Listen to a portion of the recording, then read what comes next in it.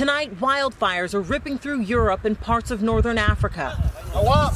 In Spain, 17 fires are raging across the country, and thousands are frantically fleeing their homes. This woman saying she's devastated. So far, nearly 400 people have died from the extreme heat as temperatures hit 114 degrees. It's a desperate effort for first responders working quickly to save lives and homes as neighbors rush to evacuate. Once you can feel the intensity of, of the heat and the wind, that's it. A similar scene in France where fires are intensifying. 25,000 acres are burning near the famed wine region of Bordeaux. Bonjour. Police going door to door, getting residents out before it's too late. So far, the country's seeing some 12,000 evacuations. The deadly heat wave that's gripping Europe comes at the height of the summer tourist season. In the United Kingdom, a crisis situation in a country where most live without air conditioning. Government officials holding an emergency meeting today. Hello, it's Friday, the 22nd of July, 2050.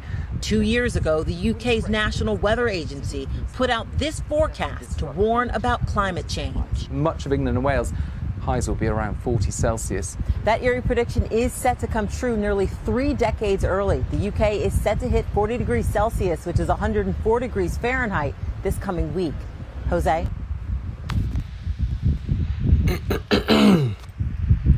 Shalom, am Yasharada. First and foremost, I'd like to start this lesson by giving all praises, honor, and glory to the Heavenly Father and His only begotten Son, Yahweh, Bahashem, Yahweh Shai, Bahashem Rachak. Double honors to the elders and apostles of Great Millstone who rule well and taught me this 100% truth. Double salutations to the Akim out there spreading this word in truth and sincerity. And shalom to you few Akwath listening in today. I'm back at you with another lesson entitled Remember the Lord is coming with fire.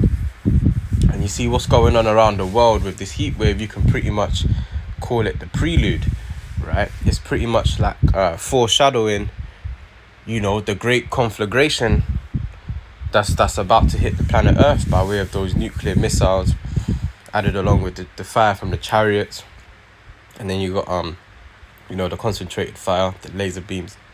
Then you got Leviathan the great sea beast, that fire breathing sea beast, you know. So, um, you know, the fire pretty much represents the second death, you know, because as we know, in the days of Noah, the heavenly Father, he destroyed the earth by way of a flood, by way of water, right? But he promised Noah that he wasn't going to destroy the earth uh, um, via those means again, you know. But he didn't see what he didn't promise. I mean, but he didn't say that he wouldn't destroy the earth by way of fire, right? And you know, we know that the great day of the Lord is near. And um, you know, um, you know, you heard what the news reporter said. What somewhat like around four hundred people have died due to the fire. I mean, not the fire. You know, the the extreme heat. You know, but I mean, people are struggling in in this heat. How the hell are they gonna handle the heat that comes from from those nuclear missiles, man? Because we know, pursuant to Revelation nine and sixteen, that there's going to be 200,000, 200 million nuclear missiles that's going to be used in World War Three, and uh, the heat that is emitted from a nuclear missile is pretty much, uh, if I'm not mistaken, it's ten times hotter than the sun, man. So if if, if people can't handle this heat that we're experiencing now, or how the hell are they gonna handle the uh, the the judgment that the heavenly Father has got set for this uh for this place, right? That's why I've been bringing out Genesis four and thirteen quite a bit, where you know two thirds of, of our people the heathen nations and Esau, they're going to be in that, that spirit of Cain, man. Genesis 4 and 13, where their judgment is going to be greater than they can bear, right? You know, um, so, you know, now more than ever, we need to stay in the house, man. We need to stay in the spirit. And we, you know, we need to not learn the ways of the heathen and continue in the things that we have learned, right? You know, we need to continue in this faith, in this gospel, continue doing this work until we can't do it no more, right? Because look man the time of judgment is around the corner man. You know these are all tokens. You see the heavenly father he's he's really beginning to to you know uh, visit the earth that he's made right? But our people with all these tokens they still don't want to hearken. They still don't want to repent. They still don't want to seek their power man. So we just have to uh, uh, leave them to it you know, and as it says in Philippians 2 and 12, we have to work out our own salvation with fear and trembling, right? So we ain't got time to be worrying about what two thirds are doing, right? If, if if they can't get this truth, they can't get this truth, right? You know, you can you can bring the water to the horse, but you can't uh, force it to drink it, right? So let's get a few scriptures and then we're gonna wrap it up. Luke twelve and forty nine. I am come to send fire on the earth, and what will life it be already kindled, right? So when Yahweh returns, you know this uh, uh, the elements are already going to be melting with fervent heat, predominantly the land of uh, Babylon the Great, aka America. You know that that um, land is going to be completely on fire, man. You know, and and Yahweh Shai, he's going to come with that extra fire.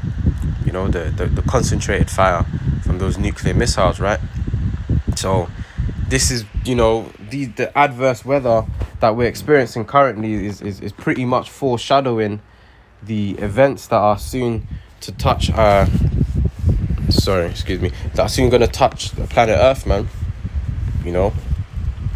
These are all signs of the times. And oh yeah you heard what um excuse me you heard what the news reporter said.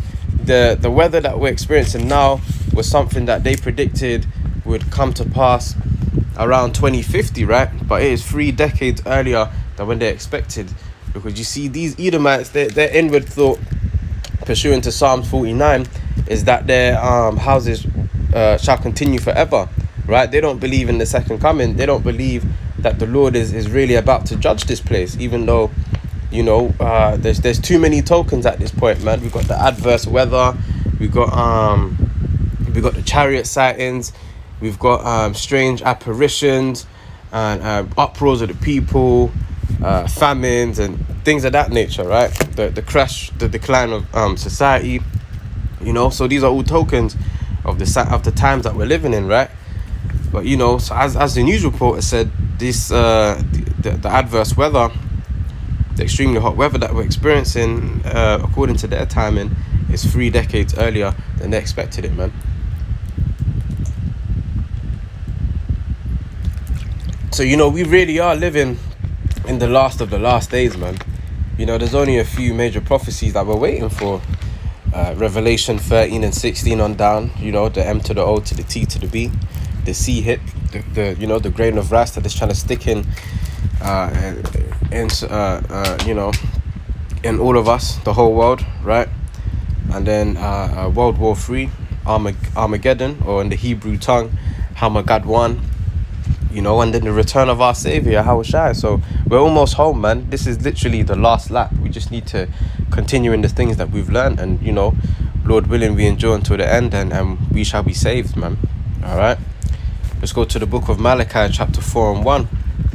For behold, the day cometh that shall burn as an oven, and yeah, oh, sorry, and all the proud, yeah, and all that do wickedly shall be stubble and the day that shall cometh shall burn them up, saith the Lord of hosts, that it shall leave them neither root nor branch. And we're seeing this happening on a small scale right now. You know, have a look at this picture right here. What's going on in Portugal, and and you know the same thing is happening in various parts of Europe right now, right? Um, so um, it, it's all about gradualism. You know, things are just gonna slowly build up until it's that ultimate day of fire where you know the nuclear missiles you know the 200 million nuclear missiles are used and you know with that added fire from the from the chariot leviathan the great sea beast or, you know it's, it's about to go down man you know there, there's no denying that we, we are in the last of the last days right malachi 4 and 2 but unto you that fear my name shall the Sun of righteousness arise with healing in his wings and ye shall go forth and grow up as calves of the stall. Because you know, um, Yahweh Shai and the holy angels, they're coming to do two things, right? They're coming to destroy this uh, wicked society, the wicked of this society as well, and to deliver the elect. And Lord willing, we be a part of the elect that will be delivered from from uh, the perilous times to come, man. And you know, we believe uh, through the spirit and power of Yahweh Hashem Yahweh Shai that He's going to give us uh, uh, uh, spiritual power in these last days, man, to uh, overcome the wiles of the enemy and you know to, to, to overcome all those that hate us man all those that come up against us because we know pursuing to second Esdras chapter 16 and 70 there's going to be a great insurrection against the men of the Lord right? So we're going to need that spiritual power man you know uh we're gonna let me get uh Zechariah 12 and 8 in that day shall the Lord defend the inhabitants of Jerusalem and he that is feeble among them at that day shall be as David. Right we know David he was a he was a mighty man of war man. David had spiritual power. Read Psalms chapter 18 right? That will prove to you that David had spiritual power and so did his mighty men right?